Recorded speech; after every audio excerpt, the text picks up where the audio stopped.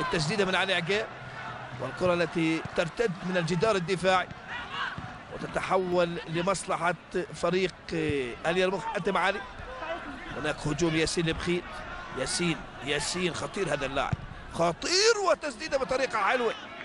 طريقة حلوة كانت لياسين لبخيت في اللقطة الماضية. وضع الكرة سكرو شاهد. الكرة المتموجة تمر بجانب القائم البعيد القائم الأيسر.